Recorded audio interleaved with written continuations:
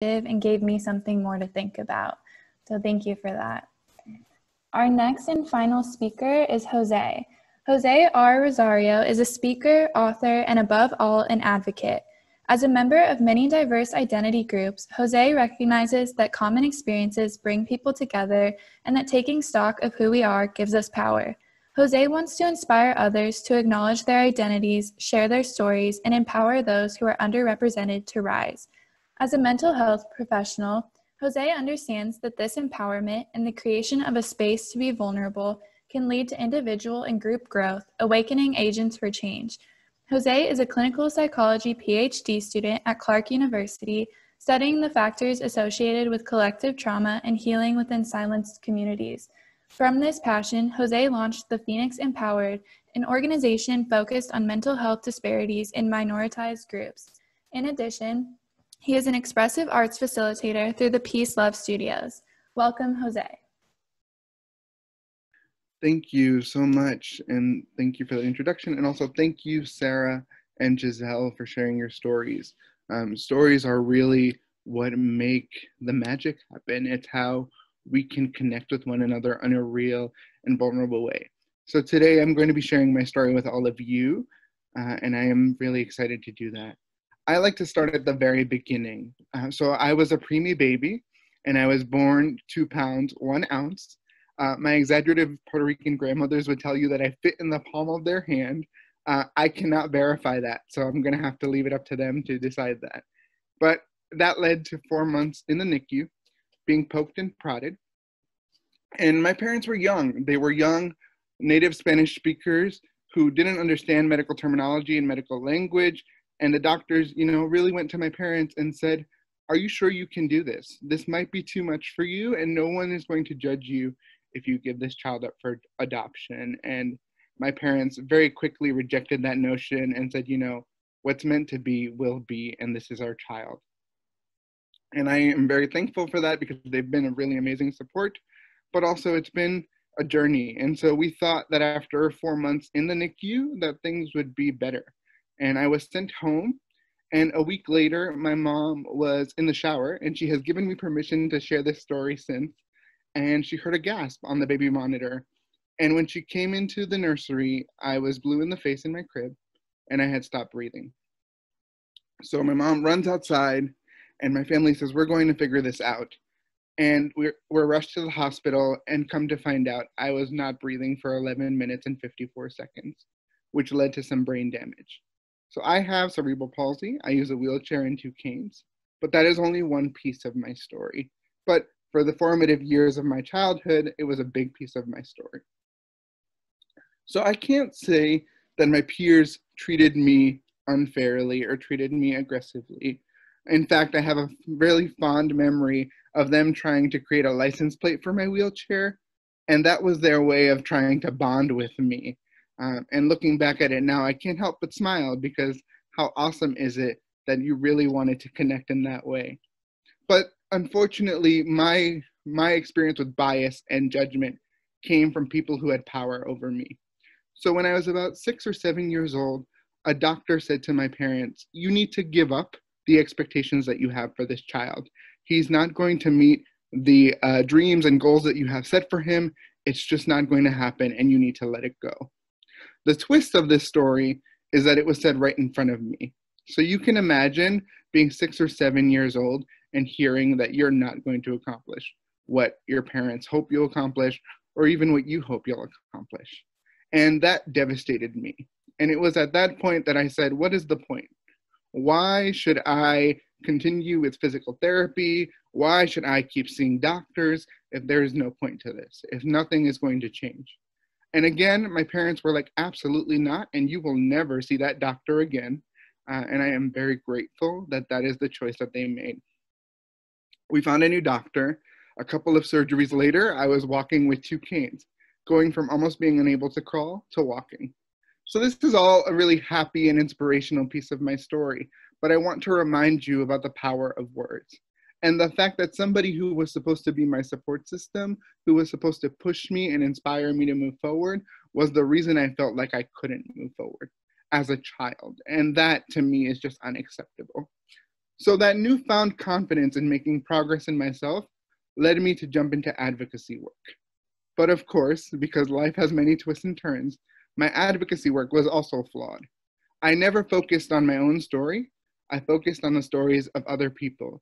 I focused on telling stories about risky behaviors, about substance use and substance use in the youth community, and actually served as a consultant for the city of Providence at the age of 13, looking at youth risk behaviors, but never thinking about how my story impacted the work that I was doing. Although there were microaggressions, and there were times where people would say, I'm sure this kid doesn't know what he's doing. But there were also times after big events where I would get praised. And one particular time sticks out in my memory. I had just finished this really huge event and I was really proud of myself because it was the first time that I led something. And when they were thanking me, they said, Thank you, Jose, because you got up and got dressed this morning. Now you can imagine my surprise that that's what they wanted to thank me for. That isn't my story. That isn't something that I want to be praised for. You got up and got dressed this morning. Why do I have to be praised for doing something that you also can do? And it to me felt like a slap in the face. But I was also really confused because I worked really hard and I thought for a minute that my disability wouldn't matter because in some ways I didn't allow it to matter to me.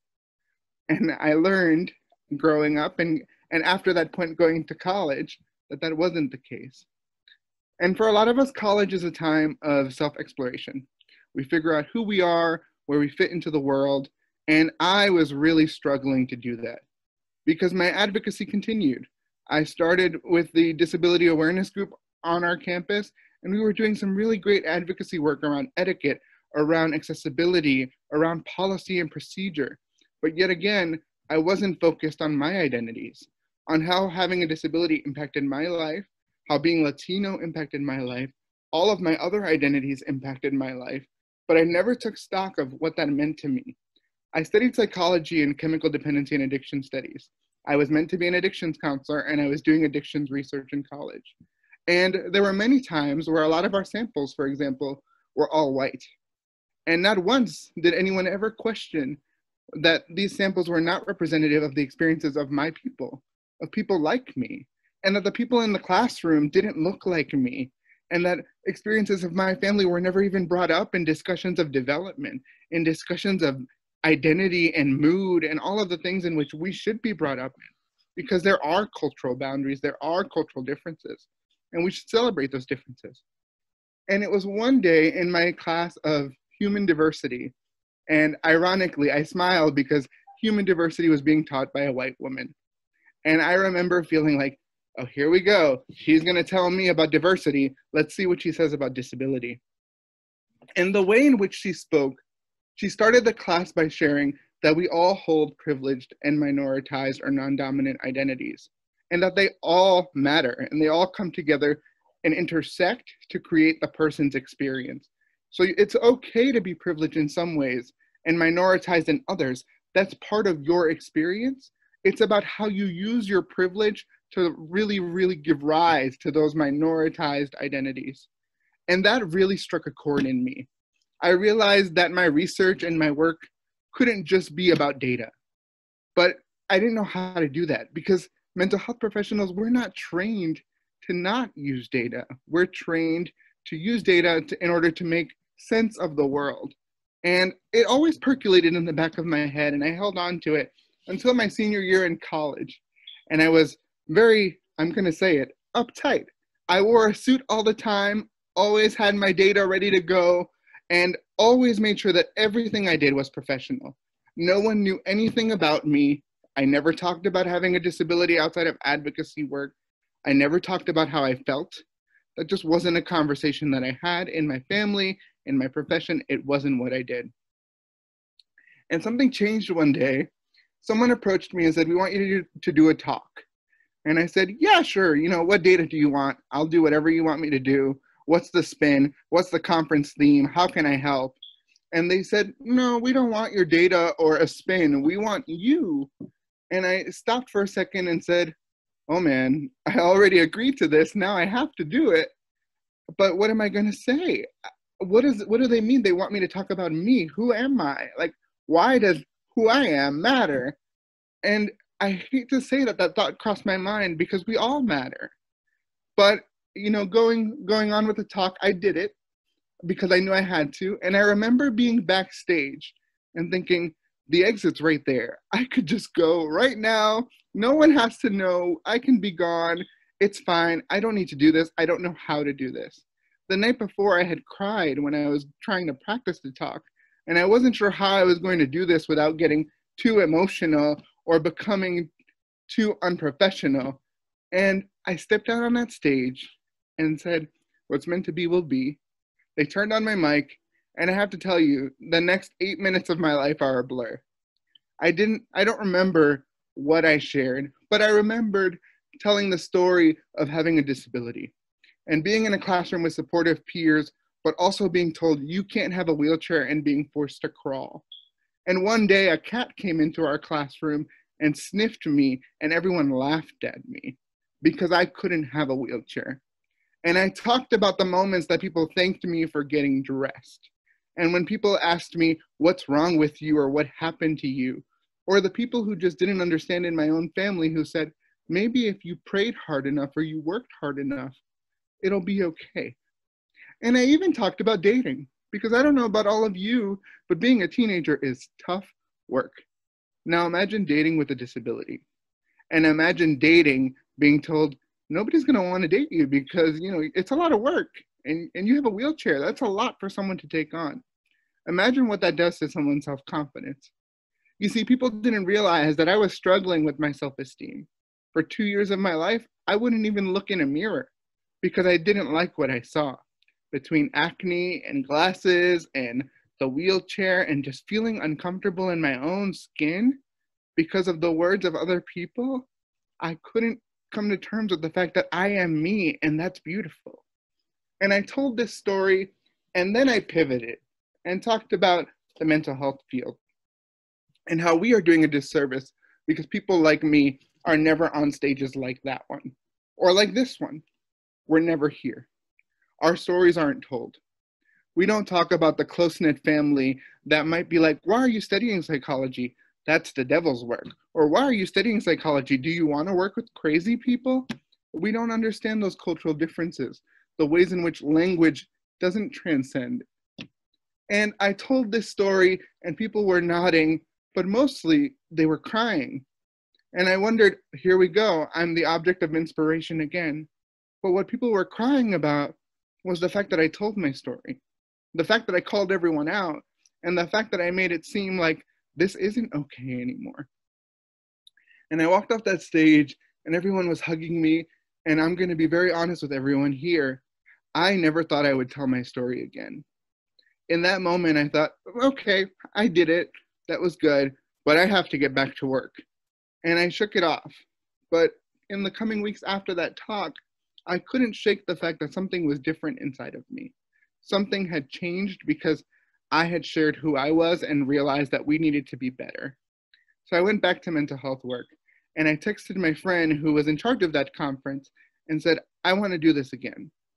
So he got me set up to do a keynote at a university talking about what makes a good and inclusive advocate. And I said, sure, I'll do that. But I told my story and I talked about how things like active listening, things like respect really go a long way. And there was someone in the front row and they were crying throughout my entire talk. And I thought either I did something wrong or there's something deeper going on here. So after my talk, I, I put on my clinician hat and said, I'm just going to check in and see how things are going.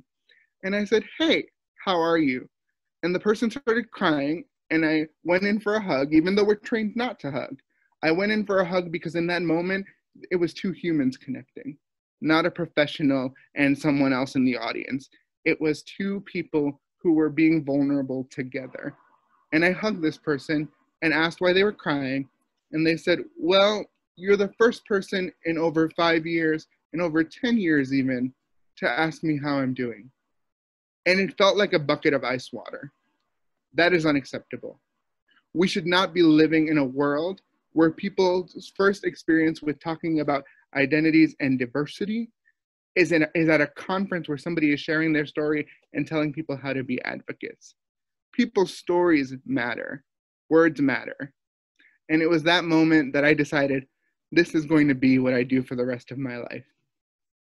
I am going to tell my story, but not because I want to inspire. That's not my goal. I want to create a space where we remember that stories matter, that vulnerability matters, that talking about where systems have failed people matters, and to say that we can do better and we must be better, and that we have to create a, a space for people to tell these stories. Now, I've often heard that people rise from the ashes, but I have a hard time with that analogy because it makes one big assumption. It makes the assumption that everyone can rise. And yes, everyone can. However, when you're constantly told that you're incapable, or that your story doesn't matter, or you don't see yourself reflected, it really takes a space where you are told you matter to be empowered to rise.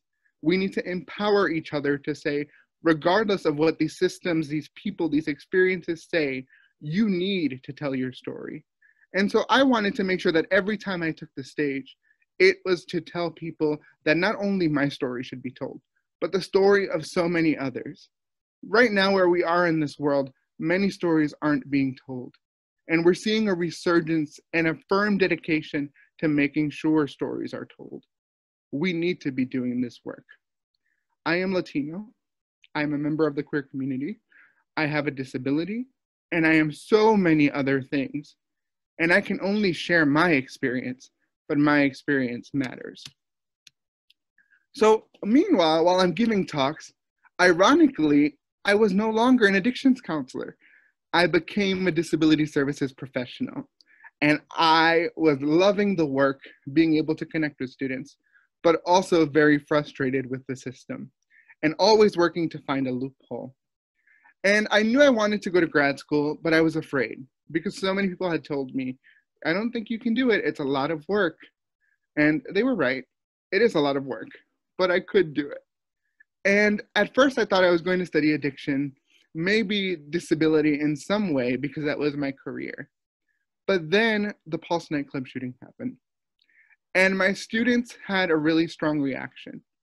And I realized that identity, really to its core, can connect us with people across the globe if we feel this connection, this shared experience, we can also feel pain and hope and grief and happiness. And I knew that that's what I wanted to do. That I wanted to understand how silenced and minoritized communities could collectively feel pain, but also collectively heal and create more and more spaces, including in academia, for these conversations to happen. And so my students are really truly the reason my career is what it is today. Those students are the reason I share my story. They're the reason I take the stage and the reason that every day I make sure that I have a lens towards social justice. And on the days where I'm feeling tired, because we all feel tired, I am reminded that my words matter and I am allowed to take a break. But then I get up and keep going because guess what? There's going to be another kid in a classroom that isn't allowed a wheelchair, and I will not rest until that kid has every opportunity that they deserve. It's not about what you get, it's not about even deserving, it's about the human right to exist, to respect one another, and most importantly, to empower one another. So, that being said, this is my story. And to wrap up, I want to share that I am not perfect. I am not the perfect image of self care. I am not necessarily characterizing myself as a disability advocate or a Latino advocate. I am characterizing myself as a human advocate, as someone who understands that every person's experience, including each of the panelists today, is different, and that we will all work together to make the world a better place and we're going to continue to create spaces towards empowerment. And with that, I want to thank you not only for listening to my story and not only for being here with us, but for choosing to be here because clearly this matters. Clearly it's important, and it is. for people like me, for people who aren't like me. Learning about identity, learning about experience matters, and we can all be better. So let's be better together. Thank you. Thank you, Jose. Thank you for sharing everything. And thank you to all of our speakers for sharing their stories tonight.